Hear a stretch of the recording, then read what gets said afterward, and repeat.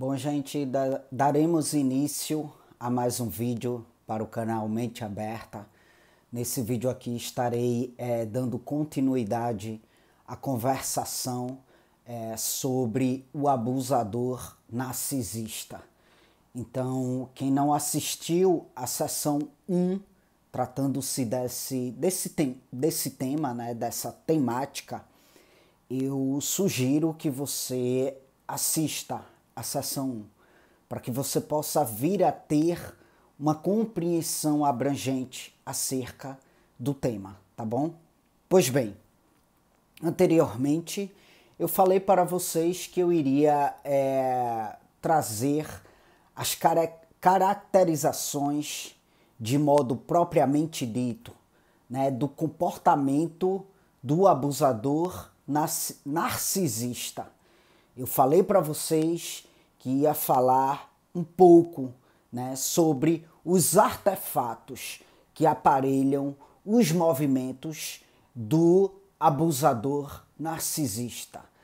É, pois bem, quando você conhece um cara e ele se mostra incrível demais de início, comece a ficar com o pé atrás com relação a isso.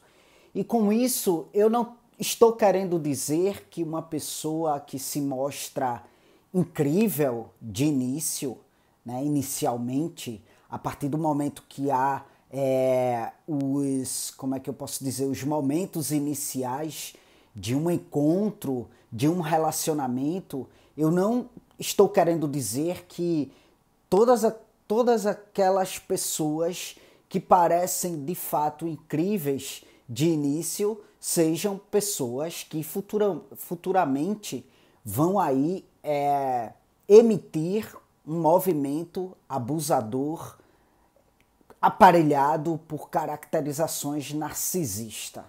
Eu não estou dizendo isso. De repente você conhece alguém e essa pessoa se mostra incrível no começo, inicialmente, e talvez porque de fato ela seja mesmo incrível, ela pode vir a ser de fato essa pessoa que ela está se mostrando ser inicialmente. Mas o que eu quero dizer é que não deixem se iludir por aquilo que se mostra incrível no começo, né? Conhece, vai com calma, vai conhecendo. Nada melhor do que o tempo, né? E o cuidado em conhecer a pessoa, entende? Então, assim, geralmente o abusador narcisista ele se mostra incrível demais, sabe?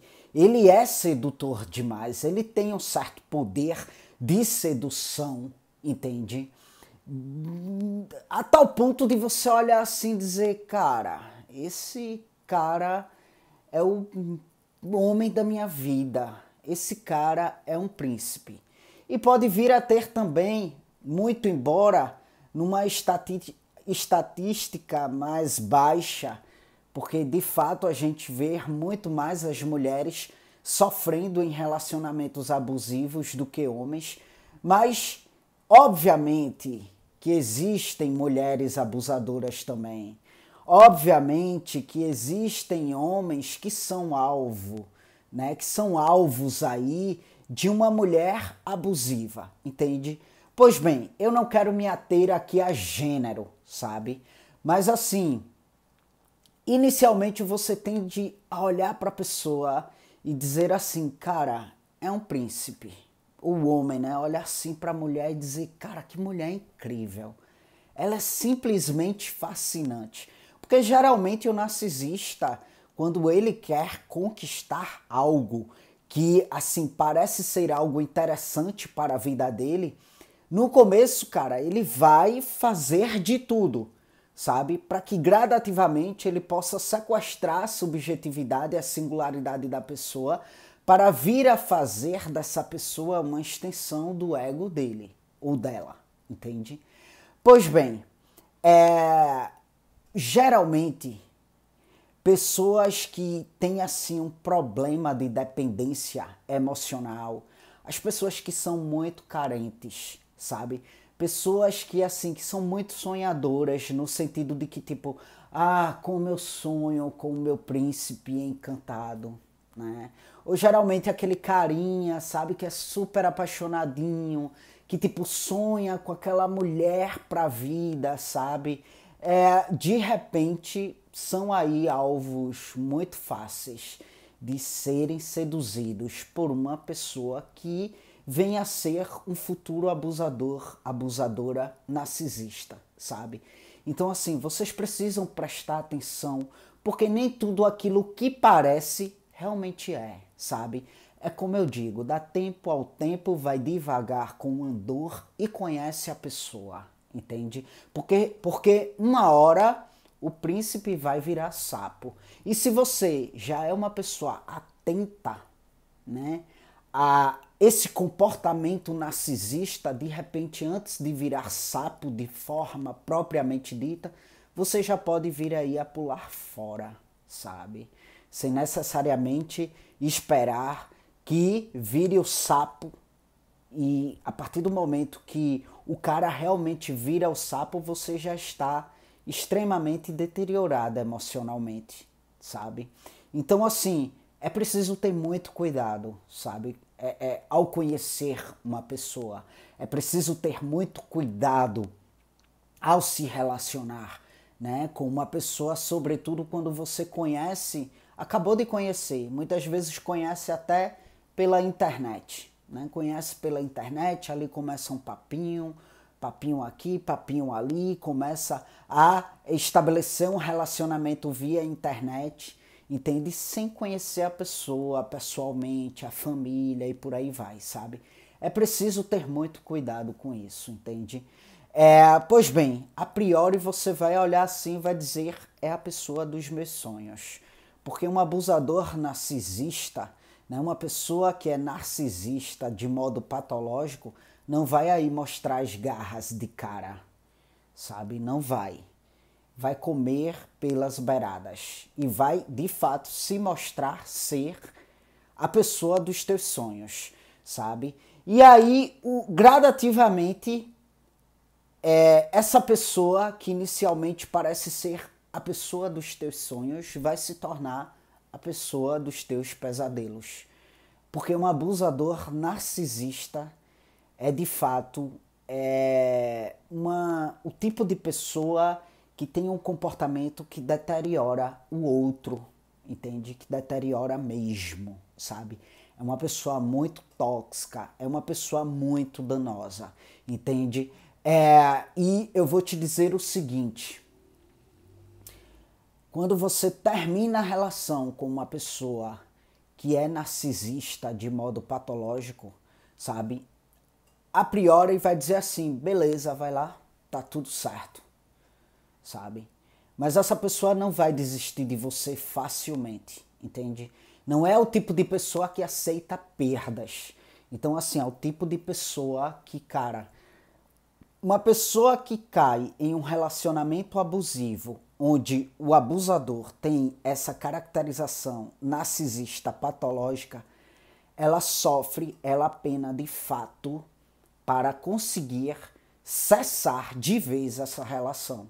Porque a pessoa narcisista tem um poder de persuasão muito grande, no sentido de manipular a tal ponto, sabe? De a pessoa estar sempre é, munida da esperança de que, tipo, ah, ele é assim, mas ele vai mudar.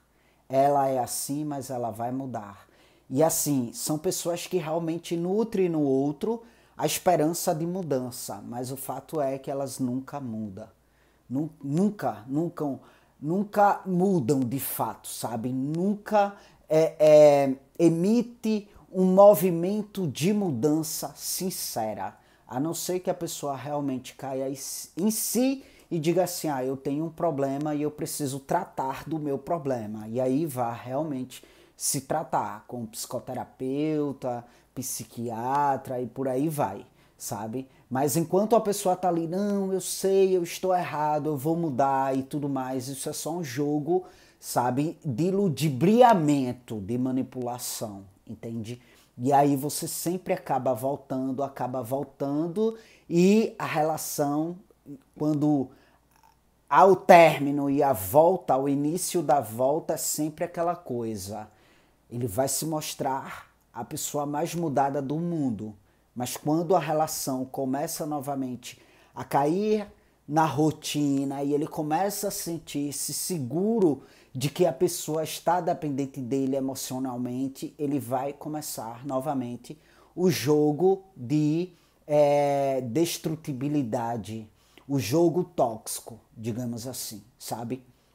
Pois bem, é, abusadores narcisistas, né, abusadores que têm essa caracterização narcisista, vai se mostrar ser tudo de bom. E você vai ser sempre tudo de ruim.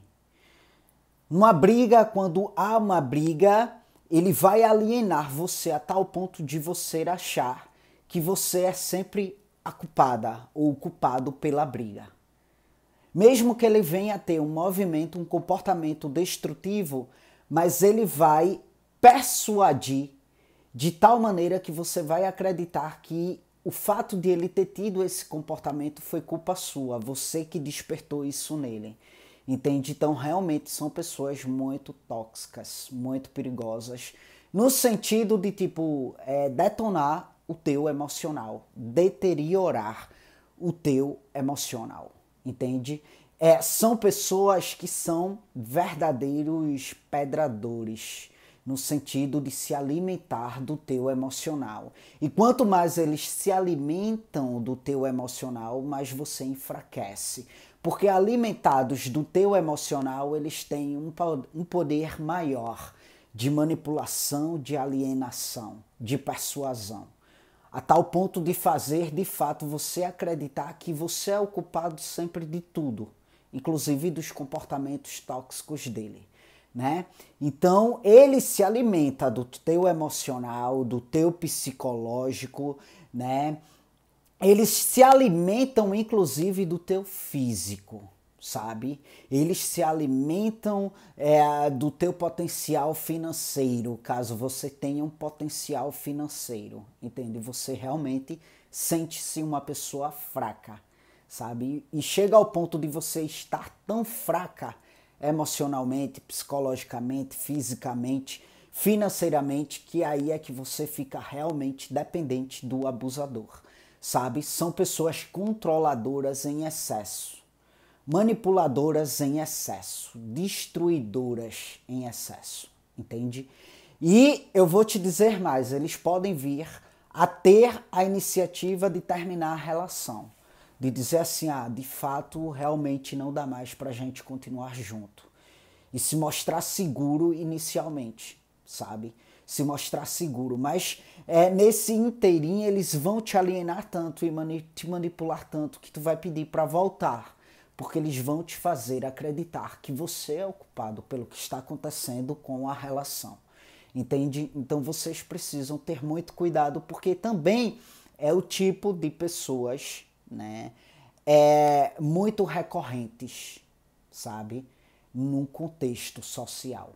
E isso não é só, isso não acontece só em uma relação amorosa, mas acontece em relações de amizades, acontece numa relação ali de patrão e funcionário, um ambiente de trabalho, no ambiente de faculdade, sabe? É, então, assim, vocês precisam pre prestar atenção, porque uma vez que vocês deixam é, que esses pedradores se alimentem de vocês, né, fica muito difícil de vocês identificarem né, que de fato vocês estão sendo vítimas de um sujeito narcisista patológico, entende?